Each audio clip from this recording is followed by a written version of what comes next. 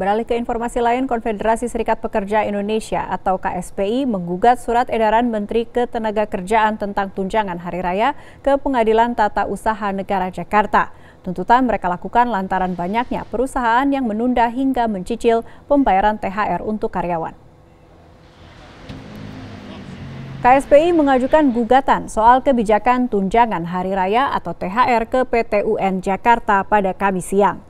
KSPI menggugat surat edaran Menteri Ketenagakerjaan tentang THR tahun 2020 yang dianggap bertentangan dengan PP nomor 78 tahun 2015 yang mewajibkan perusahaan membayar THR selambat-lambatnya tujuh hari menjelang lebaran.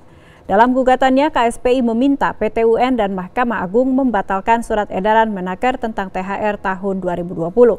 Sekretaris Jenderal KSPI Rabidi mengatakan dengan adanya surat edaran tersebut perusahaan seakan-akan memanfaatkan untuk mencicil hingga menunda pembayaran THR tanpa ada audit keuangan yang jelas. COVID ini dijadikan alasan atau alat oleh sebagian pengusaha untuk dengan berbagai cara bagaimana caranya hak-hak yang selama ini diterima oleh pekerja tidak bisa diterimakan. Perlu teman-teman tahu bahwa THR ini biasanya sudah dipersiapkan oleh pengusaha, oleh manajemen jauh-jauh hari. Jadi bukan sebulan dua bulan ini